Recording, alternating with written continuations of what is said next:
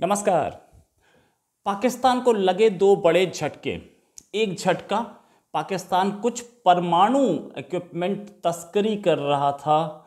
आ, कराची से एक शिप जा रहा था चाइना के शंघाई और उसमें उसने सामान को कई कंटेनर्स लोड कराए थे जिसमें कागज़ों में कहीं ये नहीं लिखा था कि यह हेजार्डस मटेरियल है न्यूक्लियर मटेरियल है। लेकिन कंटेनर के ऊपर हैज़ार्ड लेवल सेवन लिखा हुआ था। इसका मतलब उसके अंदर न्यूक्लियर कुछ था। मींस जो हैज़ार्ड क्लास सेवन रैंकिंग दी गई थी, उसके न्यूक्लियर मटेरियल या रेडियो एक्टिव मटेरियल था, उस कंटेनर पे लिखा हुआ था। ठीक है? तो ये पूरी कहानी इंडियन इंटेलिजेंस काबिलियत इंडियन इंटेलिजेंस की कि वो पहले से पता लगा लेते हैं। उन्होंने ट्रैक कर लिया शिप को इंडिया आना नहीं था। सिर्फ़ इंटरनेशनल वाटर्स से जाना था, इस शिप को इंटरनेशनल वाटर्स में इंटरसेप्ट करके मुंदड़ा पोर्ट लाया गया, जो कि गुजरात में है, और ये अडानी इस पोर्ट को चलाते हैं।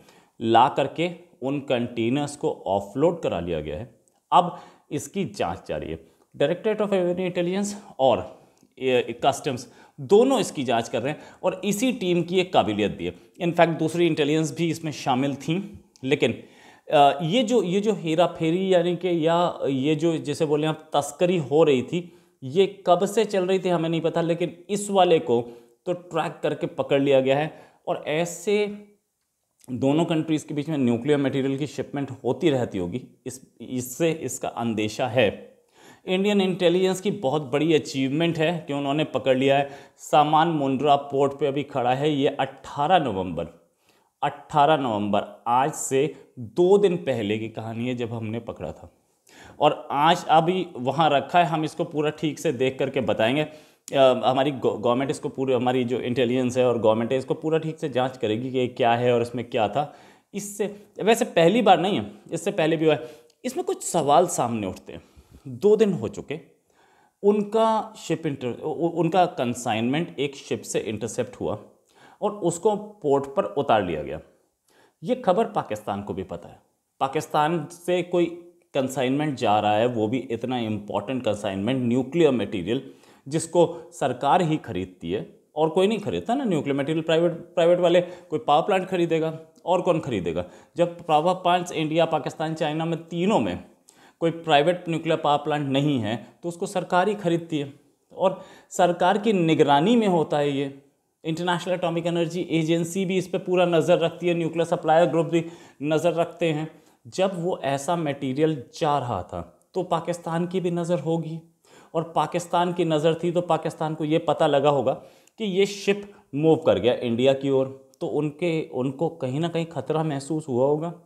शिप मूव बहुत पहले हुआ 18 तारीख को ये ऑफलोड कर लिए गए थे। शिप पहले मूव करके आया ऑफलोड किया, फिर उसके बाद शिप को फ्री कर दिया गया। शिप चला गया कि नहीं, मुझे नहीं पता है।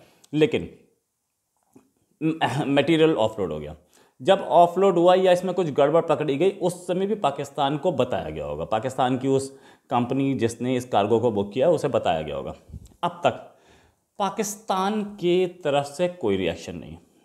इसका मतलब पाकिस्तान भी इस खबर को दबाना चाहता है। पाकिस्तान भी कुछ कहीं चोरी कर रहा था। ना चाइना की तरफ़ से कोई रिएक्शन है। कि उनका कार्गो इंडिया ने रोका क्यों उतारा क्यों? ना पाकिस्तान ने कुछ बोला कि हमारा कार्गो इंडिया ने चोरी कैसे कर लिया हमारा कार्गो कैसे उतार लिया? किसी की तरफ़ से नहीं अड़तालीस घंटे बहुत बड़ा टाइम होता है बहुत बड़ा टाइम होता है when it comes to these things Pakistan तो एक एक घंटे में रिएक्ट करता है। पाकिस्तान को पहले से पता है कि ये कार्गो उतार लिया गया है। अब ये तो आ, पाकिस्तान को इन्फॉर्म किया गया शिप के ओनर ने इन्फॉर्म किया होगा शिप का शिप की कंपनी ने इन्फॉर्म किया होगा कि आपका कार्गो इंडिया ने उतार लिया। ऐसा हो ही नहीं सकता, क्योंकि शिप ने इन्फॉर्म किया होगा अपनी कंपनी को, और उस कंपनी ने इन्फॉर्म किया होगा पाकिस्तान को। पाकिस्तान की जो जो भी वो कार्गो बुक किया था, और जिसने बुक किया, उसने इन्फॉर्म किया होगा कि तुम्हारा कार्गो इंडिया में उतार लिया गया, कहीं पे उसमें गड़बड़ दिखी है। पाकिस्तान की गवर्नमेंट को भी साफ़ पता है, और ऐसा कोई आरोप कहीं से नहीं लगा। इसका मतलब मैटर बहुत सीरियस है। दोनों कंट्रीज़ इस बात पे रिएक्ट नहीं करना चाह रहे हैं। इसका मतलब दोनों कुछ गड़बड़ कर रहे थे, दोनों कुछ चोरी करते जिसको इंडियन इंटेलिजेंस काबिल इंडियन इंटेलिजेंस मेहनती इंडियन इंटेलिजेंस ने डिटेक्ट कर लिया और पाकिस्तान और चाइना की इस तस्करी को एक्सपोज कर दिया। ये दुनिया के सामने आएगी कहानी की था क्या? साथ में ये भी क्लियर है कि ये सीक्रेट कंसाइनमेंट था। क्योंकि इसके कागज़ बोलते थे, ये हेजार्डस नहीं है। और इसके ऊपर हेजार्डस लिखा था। तीसरी चीज़ कंसाइनमेंट इतना सीक्रेट था कि इसके ऊपर कोई भी, इसके इसके ऊपर कोई भी कंट्री रिएक्ट करने के लिए तैयार नहीं है। दोनों कंट्रीज़ रिएक्ट करने के लिए चौथी चीज़, ये सारे के सारे, ये कोई छोटा मोटा कंसाइनमेंट नहीं था। कई कंटेनर्स में था। अगर प्राइवेट कंपनी करती भी है तो वो इतने सारे कंटेनर्स में नहीं लाती है। कई कंटेनर्स थे जो सारे उतार लिए गए। इंडियन इंटेलिजेंस ने भी बहुत उसको ध्यान से और डीआरआई की भी तारीफ़ करूँगा, मैं कस्टम्स की भी तारीफ़ करूँगा। उन्होंने भी ध्यान से सारे शिप को ठीक से देख करके उस एक एक कंटेनर उन्होंने उतार लिया। कोई कंटेनर बचने नहीं दिया। इसके साथ साथ ये पहली बार नहीं पिछले साल पिछले साल चाइना से एम एलेवन मिसाइल के कुछ पीसेस जा रहे थे। एम एलेवन मिसाइल जा रहे थे कराची की ओर। उसको भी रोक लिया गया था। वो कांडला पोर्ट में पकड़ा गया था उसको। और उससे पहले नॉर्थ कोरिया से कुछ मिसाइल जा रहे थे पाकिस्तान। उसको भी इंटरसेप्ट कर लिया गया था। तो ये पाकिस्तान की इस इस, इन नापाक हरकतों को हमारी इंटेलिजेंस और हमारे जामाज ऑफिसर्स पकड़ते रहते। कोई नई चीज़ नहीं है। बहुत बहुत ही काबिल इंटेलिजेंस मैं इसमें बोलूँगा कि हमारी इंटेलिजेंस की बहुत बड़ी कामयाबी बट स्टिल एक और एक और कामयाबी। अब की बार रशिया की। पाकिस्तान ने खरीदे थे रशिया से हैंड फुट कंटेमिनेशन इंडिकेटर ये करते क्या हैं? हाथ और पैरों में ये, या बॉडी में गामा रेस को डिटेक्ट करते हैं कि इसमें गामा रेस ज़्यादा तो नहीं आ रही कहीं पे। और उस पर उसके डिटेक्शन के लिए ये ये कुछ मशीन्स उन्होंने मंगवाई थी। पाक रशिया ने अपनी नज़र रखी हुई थी कि ये मशीन क्यों मंगवा रही हैं। बाद में पता लगा रशिया को कि ये चश्मा न्यूक्लियर रिएक्टर के लिए मंगवाई जा रही हैं।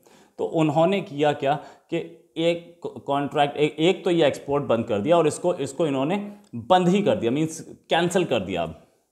अब ये सप्लाई नहीं की जाएँगी और। तो इसके साथ क्या हुआ?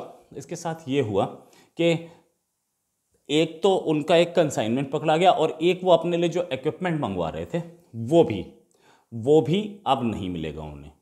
तो पाक, पाकिस्तान को दोहरा न्यूक्लियर झटका लगा है। वैसे वो चोरी से ले रहे थे। इससे पहले वो जर्मनी से भी चोरी से ले रहे थे कुछ जिस पर जर्मनी ने भी बैन लगा दिया। जर्मनी ने बोला भी था कि हमारे कंट्री से ऐसे लेके जाने की कोशिश कर रहे हैं। जर्मनी ने 2019 में एक रिपोर्ट में मेंशन किया था कि ये हमारे कंट्री से और दूसरे यूरोपीय कंट्री से प्राइवेट कंपनीज़ के नाम पर ऐसा मटेरियल खरीद लें जो कि न्यूक्लियर या तो न्यूक्लियर वेपन्स के लिए होता है या न्यूक्लियर टेक्नोलॉजी के लिए होता है, या किसी और चीज़ से डायरेक्टली रिलेटेड होता है न्यूक्लियर उससे। और उन लोगों ने तो अपनी दीवारें स्ट्रॉन्ग कर दी थी कि वहाँ से कोई तस्करी हो ना पाए। रशिया उनको दिखा था, रशिया से उन्होंने खरीदा था, अब रशिया ने भी उन अपनी दीवारें खड़ी कर दी और उनके इस कॉन्ट्रैक्ट को कैंसिल कर दिया।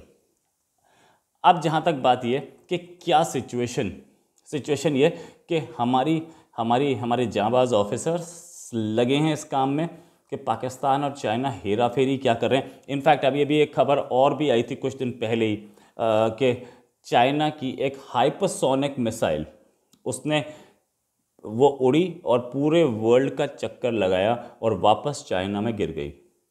इससे उन्होंने ये डेमोन्स्ट्रेट किया कि वो पूरी वर्ल्ड में कहीं पे भी अटैक कर सकते हैं। सरकम नाविगेट करके आए पूरी वर्ल्ड का। देन चाइना की इस मिसाइल के बाद पाकिस्तान, अमेरिकन आर्मी का कहना था कि ये ये अमेरिका पे एक न्यूक्लियर स्ट्राइक कर सकते हैं सरप्राइज़ न्यूक्लियर स्ट्राइक तो हमें इससे तैयार रहना चाहिए क्योंकि ये लोग अपने मिसाइल्स को ऐसे टेस्ट कर रहे हैं। हाइपरसोनिक मिसाइल वो मिसाइल होती है। तीन तरह की मिसाइल होती हैं। एक सबसोनिक मिसाइल, जो कि साउंड की स्पीड से कम चलती है आवाज़ की स्पीड से कम चलती है। एक सुपरसोनिक मिसाइल, जो कि साउंड की स्पीड से तेज़ चलती है। और एक हाइपरसोनिक मिसाइल, जो कि साउंड की स्पीड से पाँच गुना, तीन गुना, पाँच गुना ज़्यादा स्पीड पर चलती है। तो ये हाइपरसोनिक मिसाइल थी। इनफैक्ट ये मिसाइल जो थी, एटमॉस्फेयर क्रॉस करके स्पेस में चली गई थी। उसने वहाँ पे चक्कर लगाया और वापस वो अंदर चाइना में गिर गई। तो इससे ये अंदाज़ा लगाया जा रहा है कि ये लोग हेरा फेरी कर रहे हैं और न्यूक्लियर हेरा फेरी कर रहे हैं।